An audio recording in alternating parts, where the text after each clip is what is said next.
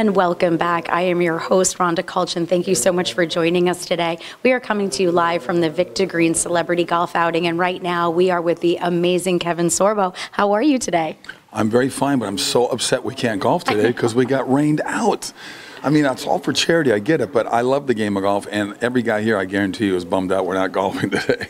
You know, we've been speaking to people all day, mm-hmm. and you get a mix. Some people are happy that they have the opportunity that they've been walking the room and meeting new people, sure. and it's giving them opportunities to chat with people that they may only see one time a year. Yeah. But when you're an avid golfer like yourself and you are on a crazy schedule right now, I'm sure this was a little bit of downtime.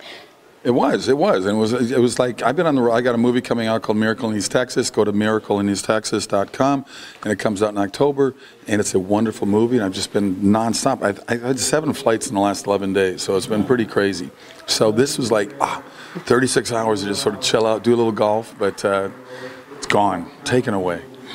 so let's talk a little bit more about the movie. You produced sure. the movie as well as you are in the movie, correct? I directed it as well. Oh. Yep, it's a true story. It's set in 1930, and um, was written by Dan Gordon. Dan Gordon's an Oscar-nominated writer. He was Oscar. He was nominated for original screenplay for The Hurricane, where Denzel Washington won his Oscar. He wrote Wider uh, for Kevin Costner. He Wrote 60 episodes of Highway to Heaven for Michael Landon. He's a really good writer. And this script is a true story set in 1930 about two con men, played by myself and the amazing John Ratzenberger. Uh, Lou Gossett Jr. is in it as well. And they would go through Oklahoma, Texas, lying to women, wooing widow, widows out of the money in fake oil wells and then they accidentally strike oil. It's the largest oil fund in the history of the world. It's a PG-rated film. It's a comedy. Believe it or not, it's a comedy, and it's very, very, very uh, well written. It's a great script. So when you are reading a script yep. and you hear something about that, obviously, you know, it's a movie, but it still takes place where there's victims. How does that make you feel that you're putting that out? Um, you, it's when you say victims, but all, most of the movies I do, there's redemption in them which that's why I love doing these movies that I've been doing. I do the opposite of Hollywood. I do movies that have love and hope and faith and, and redemption and laughter. Hollywood does Hollywood movies. So um, it's it's this I'm. It, it's fun for me to be part of something like this. I love doing real life movies like this as well, and uh, I've got a couple more coming on the pipeline that I that I also directed. So it's, it's, I've been very fortunate to be doing the movies that I want to do through uh, Sorbo Studios, my own studio company. Now, rumor has it you also just wrote a book.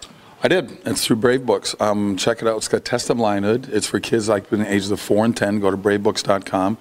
And it's a wonderful book about letting boys be boys. Let boys grow up to be strong men, to become strong father figures. It's crazy what we're doing, I think, to kids right now. And we need kids to just be kids. It goes for girls being girls, too. You know, I mean, the, the, the, the males have a place in the family and females have a place in lamb. And it's not taking anything away from either side. This is not a bashing movie of anything or any group. It's a, just a wonderful story about this lion cub named Lucas, who out in the woods, uh, his little sister gets cut by this very poisonous plant that he's well aware of because of all the times he's been in the woods with his father. And the only place he can find a way to, to save her life is go to the mountain to get this special flower that his father told him about.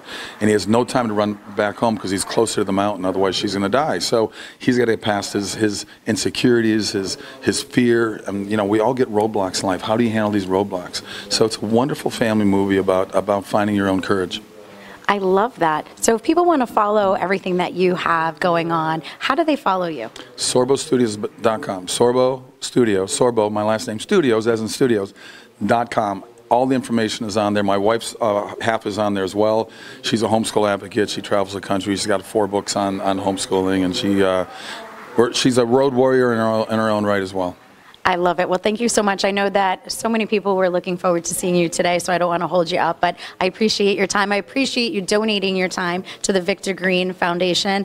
Um, he does amazing things for yes. our community, and um, without you, events like this can't happen. So thank you. It's the 10th anniversary, so I'll find a way to golf in my mind, I think. we'll set you up with a simulator. How's that? It. I'm all for it. I'm all for it. when, when, what is it? When you get lemons, you make lemonade. No, so I'm a, I'm a golf nut, so I'm all for it. So we'll, we'll hmm. find we'll find something. Right. So until next time, stay tuned. Thank you so much for joining us today.